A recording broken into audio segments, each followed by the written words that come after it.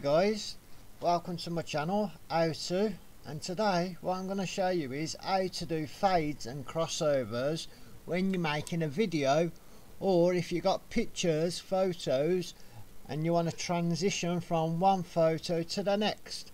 Starting off, this could be a video or a photo but I've just got a photo there and it plays for 4 seconds. Now what I'm going to do is from the playlist and all I've done is I've gone into my files opened the file and then just like dragged them over. I'm going to put this one next to it there. Now a quick tip see how it's there and you've got that gap and then you can just go right click and close.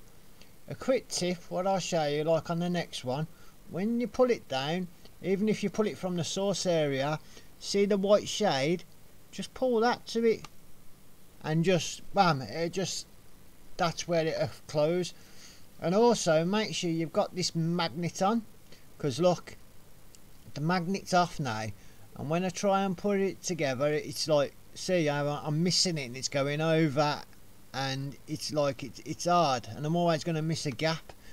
Yeah if I got this magnet on yeah oh shit no where's it gone? There magnet if I've got this magnet on I grab it.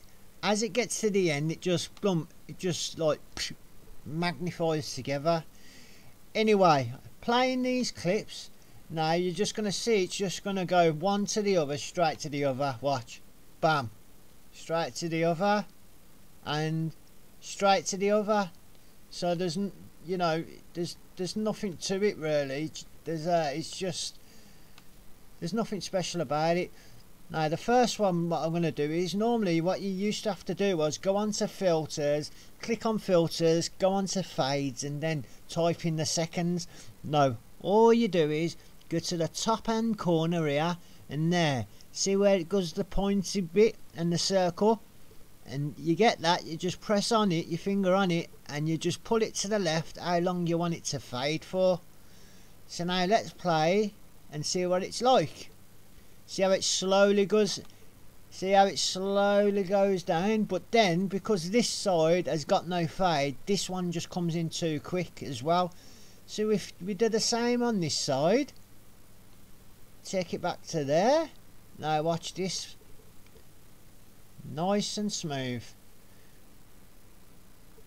Now if we was to carry on with the next one there's nothing so now another way which I want to show you like a crossover is when you get this all you need to do is, is just deliberately go over it. And when you go over it if you look at the count there you can see how it says look it's on zero go over it and then it shows you how, how many like of a second of tenth of a second it's going to be showing for. So at the moment it's two tenths of a second. Now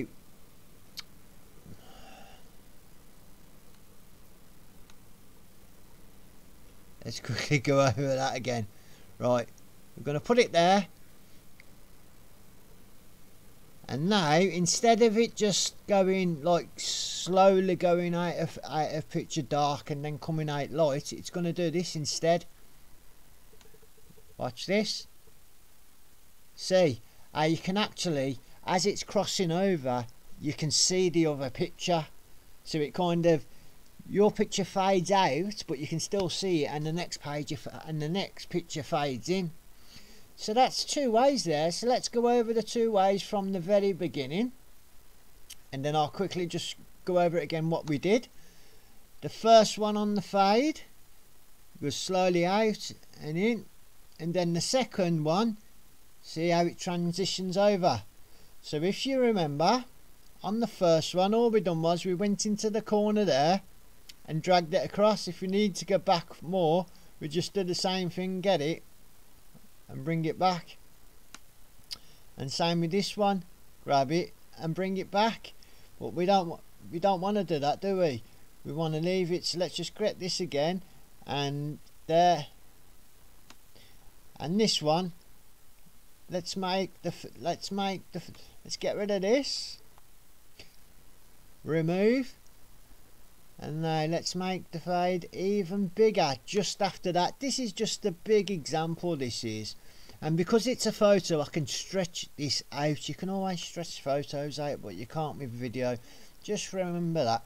So now let's see what we've got now. And instead of pressing play just press the space button. Look I'll move that. Press the space button on your keyboard. Now watch this. Because dark comes on and crosses over nice and smooth did you see that but I just I weren't too happy there with this crossover on the second one. So what I want to do is let's just move this up here. This there. The magnet and we're going to stretch this out more. It kind of it happened too quick, didn't it? It happened a bit too quick. So let's stretch stretch this out a lot more. And bear in mind if you, if you bear in mind look I've got I've got the channel. This here this only lasts for the whole of 12 seconds. It's because I've got this here down. You can have it magnifying up or magnifying right down where you can't see it or magnifying right up. And I've got it right up at the moment. Do you get what I mean? But if you click on this button here it just stretches it out to the page you can see. So now let's have a look now. Goes darker, slowly comes up and fade nice and slowly. And I don't know whether you realised them there was a bit of a there it kind of it, it flashed. And the reason why it flashed if you have a look I must have accidentally I'll have to get rid of this remove I didn't do it right so now let's have a good look space yeah, that's better. And now the crossover coming in. Brilliant. And that's professionally done. And that can be done with video or photo. And that's all it is. So I hope that uh, helps you for today. Please like and subscribe and check out my other videos because there's loads of other how-to tutorials in my videos for Shotcut even and uh, you're going to be well happy with this. Look at my videos, how to find out whether a video is copyrighted to stop you getting a warning, to stop you getting a strike. Three different ways on my videos where you can do that. And also tools on how you can grow your channel faster. So they're what you need because you don't want warnings and you don't want strikes because your first warning you only get the one. And I wish I knew and I, and I tell you three ways how to do it. And then I also show you on different feeds where to get the videos from. So look at all my channels. I mean all my uh, videos on my channel. You'll see them the ones with the mainly in red thumbnails. I also teach you how to make thumbnails on here. Anyway that's it for now you all take care. Catch you on the rebound. Bye